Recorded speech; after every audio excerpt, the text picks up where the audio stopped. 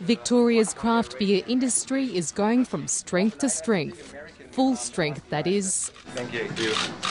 Premier Daniel Andrews made a special visit to Woodend, announcing $1.5 million towards an expansion of the iconic Holgate Brewery. It's a rapidly growing market, and if we're going to continue to provide a quality offering, when things are so competitive, so tough at the moment, you've got to have the very best offering, otherwise, people will go somewhere else. It'll help the humble family business build a new brewing discovery centre and showroom, creating at least 15 new jobs, increasing its capacity for overseas exports. More and more people are choosing to live here in the Macedon Ranges.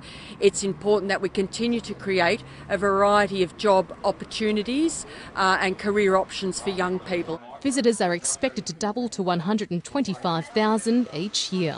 It's not just about bringing people to our place, but it's about bringing people to central Victoria. Mr Andrews says tourism remains a vital part of regional Victoria's future, contributing $11 billion each year to the region's economy. Cheers. Cheers.